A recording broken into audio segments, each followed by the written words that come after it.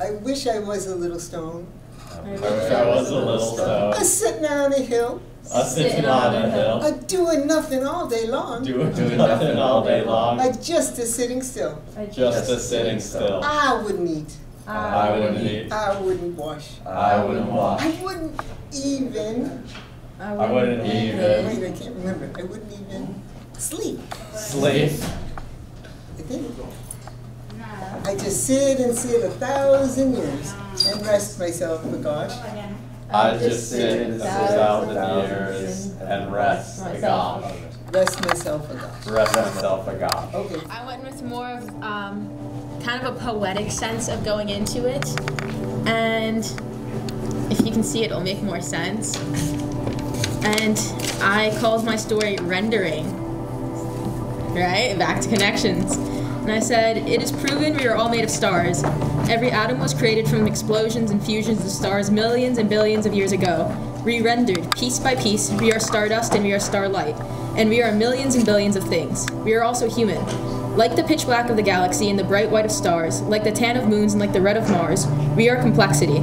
Just like the stars that had to collide to make us, many things came together to make you. We are a mosaic of the people we've met, things we've seen, and the things we've felt. Every stone in a mosaic, whether galaxy black or star white, have come together to make you. Like the galaxy above and the stones below, I'm still rendering. Ooh, thank you.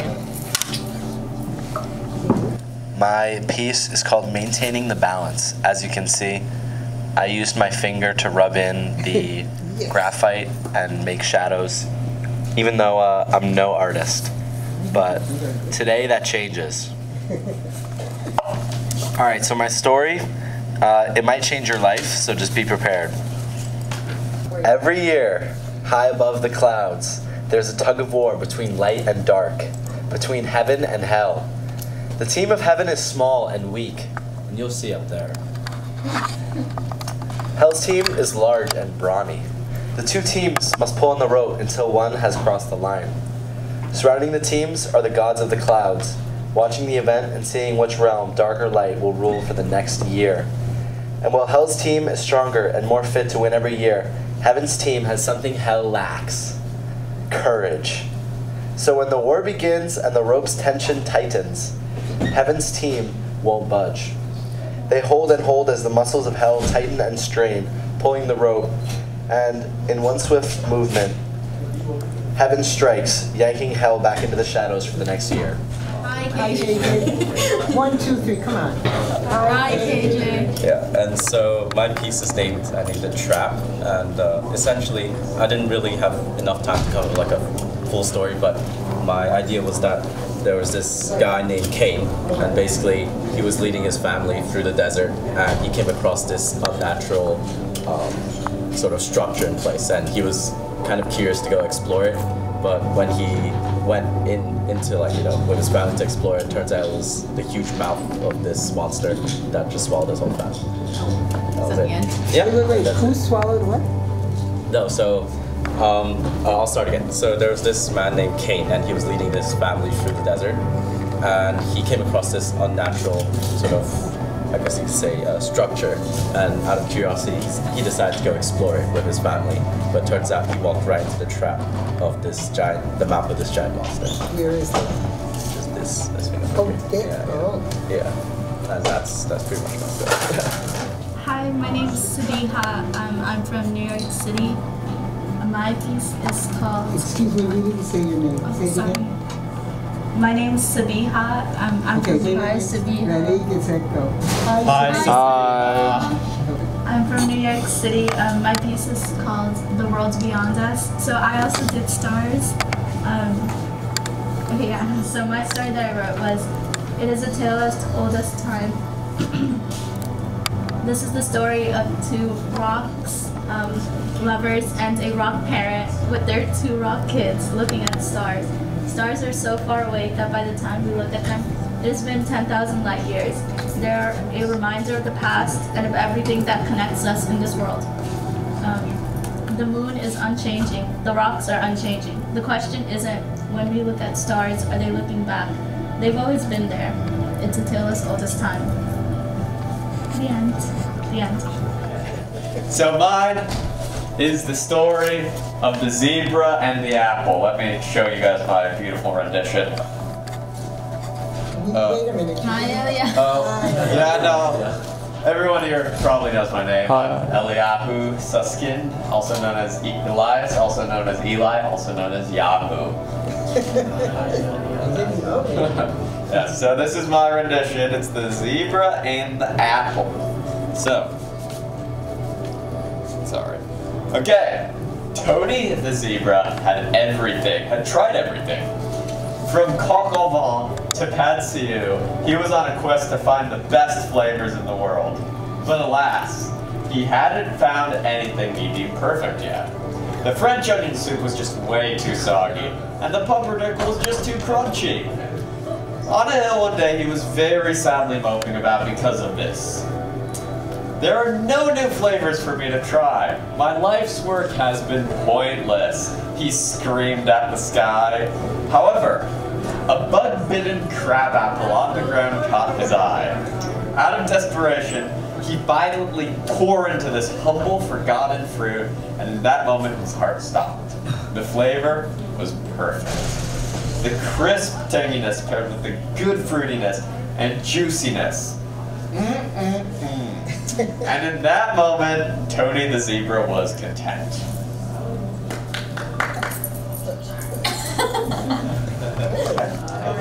Hi, Corey. I'm from Massachusetts. Uh, what? Oh, North Andover, Massachusetts. Um, so this is my picture. sort of like oh rendition. Uh, it's sort of like an ice cream cone, and then this up here is a sun. there you go. All right. Here's my story. It's called uh, The Lost Cone.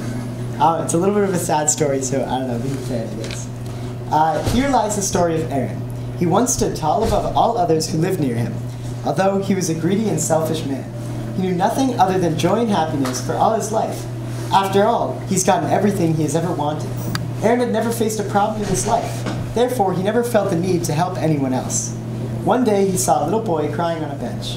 He walked over, and as he got closer, noticed that this little boy had dropped his ice cream cone on the ground and could no longer eat it. Aaron laughed in his mind as he walked to the ice cream store nearby. After seeing this incident, it reminded Aaron that he was a bit hungry and could go for an ice cream. As he walked into the store, all thought of the little boy left his mind as he ordered his cone. Aaron, with his double scooped cone, walked out of the store and took his first bite. As his lips touched the cone, he was transformed into the ice cream, and now became there, lying on the ground in the beating sun, left to melt. Aaron lay there for the rest of his life as a forgotten cone on the side of the street, forever forgotten. Hi everyone, I'm Christina. Hi, Christina. Um, I didn't do much shading on my rendition because if I did, I'd be here till 10 p.m. So, see what you can see. If you can't, please come look at it later. Um, I didn't write a story because, like Dominique, I saw of it as more of a poetic sense, more of a you look at it and see what you see. So, if you get the chance to come look at it, I think that poems are all interpreted in different ways, a different way to each person, so you can take the chance to look at it and think about what you see and what you feel. And when I was making this, that's how I felt is what I, I was putting, you know, my feelings on the ground, putting it out there. So that's what I like about this When exercise. you were doing this, you were really focusing, right? I was showing Sabiha, I was like, look from this angle and you can see it. So yeah. So there's That's what I like a mystery, there is something really special to see in there. That's what I have to share. Okay, and then there was your home. I did. Well, more. But how could you see Okay. this being used? Um, yeah, it was just like I think it's kind of mind opening how with rocks and no words and being able to see it, you can generate all of these feelings because sometimes it's hard to express how you feel in words and like I was surprised to see how you can just do it with rocks and I think that's amazing. So It's a good thing to learn. Hi, Rohit. Hi, Rohit. I'm from Shirley, Massachusetts. Um, I've What's, created. what elementary school did you go to? What, uh, what was that? What school did you go to? Uh, Littleton High School, Yeah. And how about elementary? Elementary school. Uh-huh. I went to Lura White Elementary School. Yeah, because I used to supervise student goals, and maybe can't. Wow. Okay. Um, so, what I created is called the Circle of Life. A little louder. What I created was called the Circle of Life. So, once upon a time, there were four civilizations. The Thella, as represented by the white, the Nulla, black, Mella, brown, and Yeratu, gray. They each were protected with the tasks of protecting their respective infinited stones. If their stones move out of the circle, the entire circle of life collapses, and all civilizations will die. Although each civilization needed each other to live peacefully, they had a strong enmity for each other. They were all separated. Despite eating, breathing, and living the same, each civilization would stay away from each other, and marriage was only allowed within their own civilization. This circle of life lasted millions of years without any disruption. And then one day, Mukka of Mela and Taina of Tella fell in love. Their entire world turned upside down once they were told by their communities that they were not allowed this. A war was initiated by Mela after refusal from uh, Mecca of Mela. Mela called for a Circle of Life meeting, explaining a war would destroy the Circle of Life. Mela narrow-mindedly agreed. Mela narrow-mindedly ignored Nulla and continued the war. The fight was over and the Circle of Life was destroyed. One day it will be reborn. Hi, Inez. Hi, Inez. Um, I'm from London, Oh, and beautiful that is. um, I was trying to rack my brain coming up with this story, but it just it wasn't it wasn't coming. So um, it's more of just kind of like a concept. I titled it Fate, and it's just about like the different journeys that everyone's on, but you end up.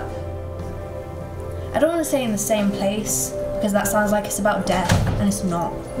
But you'll always end up like in your happy place. No matter how hard the journey, you'll end up in your happy place. So are those one, two, three, four, five people? Mm-hmm. And they're going on their journeys? Yeah. And then what makes it go up high? Um, it was just to individualize them, just to like make them different. The colors are so, and then what thing in the middle? It's this smoke? Um, it's just like the, the joy, the happiness. Oh, so they're going in? Yeah. Oh, that's interesting. Okay, how, how did it make you feel? Um, it made me feel really calm. Um, I, I think I really needed this, especially with like exam stress. It just, I was able to forget about everything and just focus on the stones, and it was really nice. And just really in the present. Yeah. Zach. Hi, Zach. I'm from South Jersey.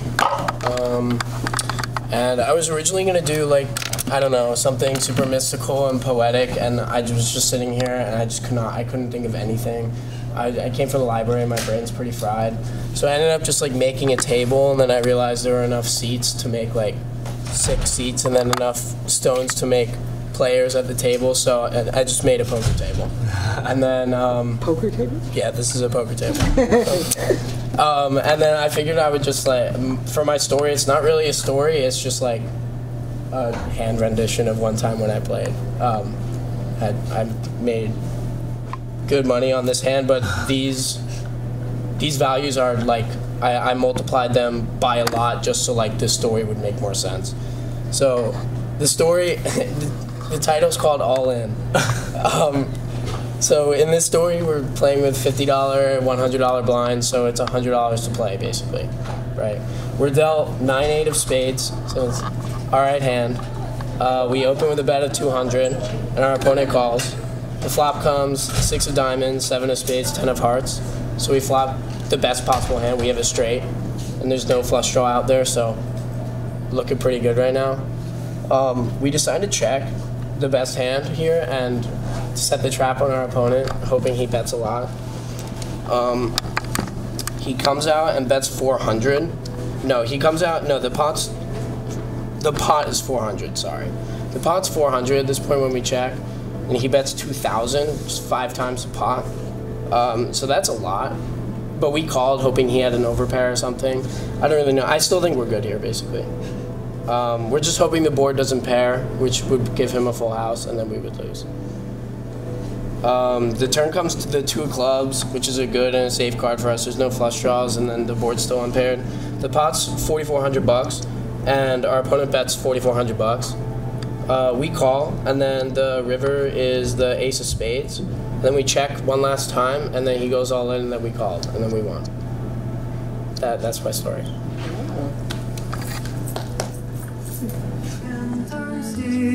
and stones into microphones and make your feelings heard. It only takes a word.